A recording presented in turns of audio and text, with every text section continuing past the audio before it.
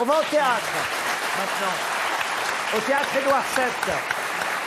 Avec Michel Larocque, François Berléand ici présent, mais on peut citer aussi euh, les autres comédiens qui sont avec vous, Lionel Abelansky qu'on connaît, Vinnie Dargaud qu'on connaît euh, peut-être euh, moins, il n'a pas encore démarré cette pièce, encore un instant. On fait confiance à Fabrice Roger Lacan parce qu'il a euh, signé de- de pi- des pièces déjà très très bonnes euh, les saisons précédentes. Je pense à Cravate Club, à La Porte à côté, La Vraie Vie aussi. Donc euh, c'est un véritable auteur de théâtre qui a du succès à chaque fois. Mais alors là, je la connais pas bien l'histoire. Je sais que c'est une actrice, une comédienne. C'est vous. Michel Larocque, qui Oui. jouez cette actrice. Je sais que cette actrice, elle a un amour. Je ne savais pas si c'était Lionel Abelansky ou, ou Berléand. Donc l'homme de votre vie, c'est Berléand. Oui. Nous sommes un un couple fusionnel. Il est metteur en scène, réalisateur. Et euh, nous avons fait, euh, à partir du moment où nous sommes connus, j'ai fait tous ses films et ses pièces. Vous êtes sa muse, en quelque sorte, alors. Il est mon pygmalion. Bon. Et euh, il a un accident de voiture euh, un an auparavant, donc, il disparaît. Et je n'arrive pas à vivre sans lui. Et je recrée notre couple. Pour, je refuse tout, je ne travaille plus, je reste chez moi et il est là en permanence. Vous lui parlez quand même. Parce que je ne peux pas vivre sans lui et je lui parle, oui. Il Ah, m'aide à vivre. On le voit quand même, François Berléand, dans la Oui Non, il y a la voix off, c'est ça. En fait, il est chez lui. Non. Il a enregistré ces trucs. Il- Voilà, c'est ça. Non, non, non. Je comprends pourquoi vous avez accepté ce rôle, François. je l'ai Voilà, Non, non, je- elle, elle m'a recréé, elle me convoque, je suis là. Ah. Mais j'ai un, drap, un blanc. rassurer nos, nos téléspectateurs. J'ai un drap blanc Non, avec non. Et je... Donc c'est pas toujours lui. ça dépend. Non, c'est vrai que En fait, une très belle elle, elle vous voit, mais j'imagine, si je- j'essaie de comprendre, j'imagine que les autres personnages ne le voient pas. Ne le voit pas. C'est bien ça? Oui, le public et moi sommes les seuls à, à voir ce personnage. Le public en sera ravi, François. Oui, Espérons. mais c'est le, le côté très drôle de la pièce parce que euh, les autres ne l'entendent pas et il dit des horreurs sur eux, évidemment. Ah, on peut lui faire confiance. Oui. Ça, c'est- Vous êtes encore un salopard, alors Non, non, du Non. tout. Non, Ah je commente, je commente la, la, la Il est lucide. situation. Il est lucide. Donc c'est très cynique. euh, voilà, je, je- je joue un personnage qui est extrêmement cynique, un peu colérique parce que je suis un petit peu jaloux de, de, de- voilà, de ce qui va se passer entre les uns et les autres.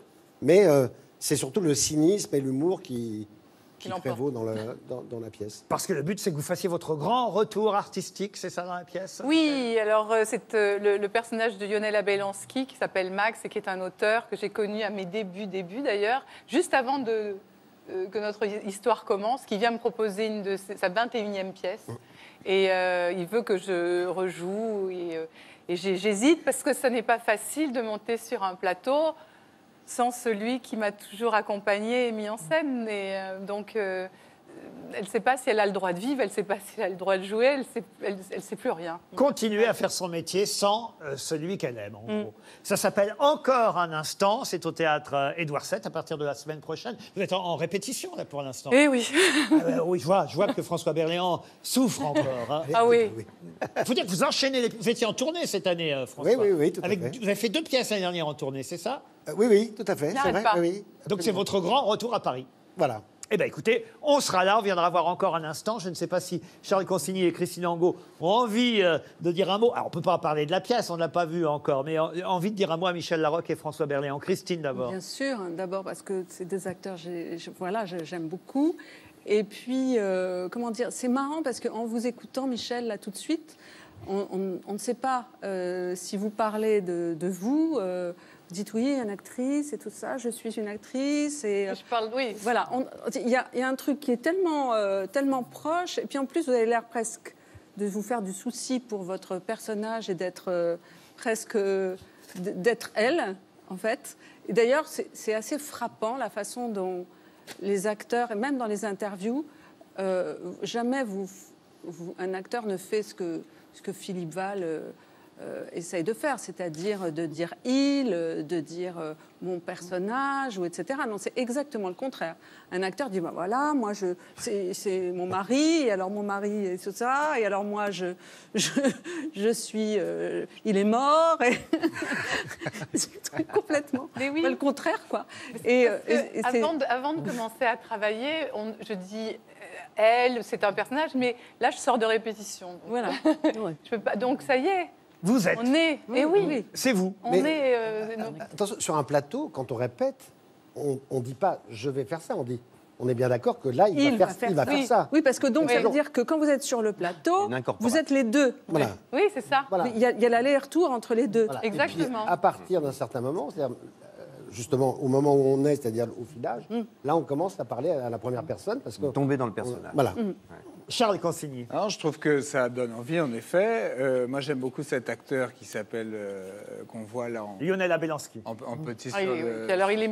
Extraordinaire. Alors que vous n'aimez pas du tout. Berléand. hein. Vous m'avez dit avant. Non. Alors que j'aime pas Non, du non. tout Berléand. Mais ouais. Mais vraiment, quand j'ai su que vous veniez, j'ai- suggéré qu'on invite Lionel Abelansky à Mais- la place. mais j'aurais Ah, bien on aimé, m'a dit non, ben, il n'est pas assez connu. Il n'est pas assez connu quand même, Berléand. Nous non plus, on l'aime pas, mais il est connu. Je vous donne les coulisses. hein, mais. Je sais bien, mais je sais Non. bien. Et non, non, au contraire, au contraire, au contraire, euh, Michel Larocque, comme vous, je trouve que vous avez une, une vraie sympathie, ce qui n'est pas toujours le cas chez les, chez les acteurs. Euh, une simplicité, euh, une manière, voilà. Peut-être vous, François Berléand, vous en avez marre qu'on vous dise ça, mais parce que vous avez été connu tardivement, euh, je- on vous dit ça dans toutes les interviews. Mais je pense que ça vous a, c'est ce qui vous permet, tout en étant maintenant une star, on peut le dire, euh, de, bah, d'une si quand même, d'une certaine, euh, euh, de, de rester simple entre guillemets. Euh, et et j'ai lu notamment, et j'étais, mais vous allez me dire si- s'il faut être désolé ou pas, que Josiane Balasco vous avait proposé au début de la troupe du Splendide d'en faire partie, et qu'à l'époque vous aviez refusé. Et je me dis, ça c'est comme quelqu'un qui a le numéro gagnant du loto et qui perd son ticket, quoi. Voilà. que Et ça m'est on arrivé. doit une le regretter toute sa vie. Non, non, Non mais non, justement. Non, non, parce que euh, bon, il se trouve que c'est un peu. On était chez Balachova ensemble. On s'amusait beaucoup. On avait la, C'est un cours. la, la même façon. De, pardon, c'est un cours de Oui. théâtre. Oui. Euh, J'ai fait comme si je comprenais. Excusez-moi. il a cru que c'était un cabaret Il se- russe. il se trouve- il se trouve- pardon. Il se trouve qu'on avait le même humour, qu'on fonctionnait vraiment très très bien ensemble. Et puis, euh, moi, j'ai tout de suite en- enchaîné sur le théâtre subventionné.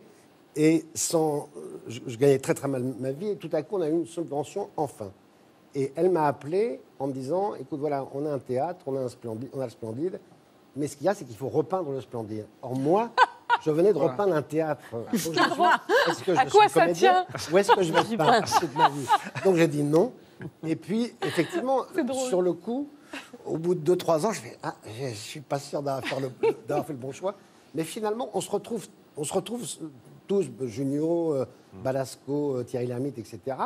Et moi, je suis très heureux parce que j'ai fait un parcours dans Et nous aussi. Parce qu'on vous a fait venir pour repeindre le décor pour la saison prochaine. je vais le faire, je vais le faire.